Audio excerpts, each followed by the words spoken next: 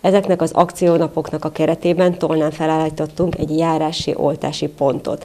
Ez a Garai tér négy szám alatt található, abban az épületben, ahol egyébként az, az orvosi ügyelet is megtalálható.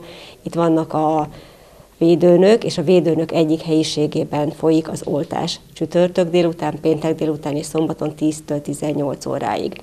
Ezen az oltási akciónapon elsősorban a tolnai házi orvosok vesznek részt, ők vállalták ezt a feladatot, Nekik csak egy ajánlott hétvégét kellett volna oltani, egy péntek délutánt és egy szombati napot, ezen felül vállalták a csütörtök dél, délutáni oltási napot is, és ezután is szeretnék ezért köszönetet mondani nekik, hogy ebben nagyon rugalmasan együttműködnek, és vállalták ezt a plusz munkát mindenféle plusz díjazás nélkül.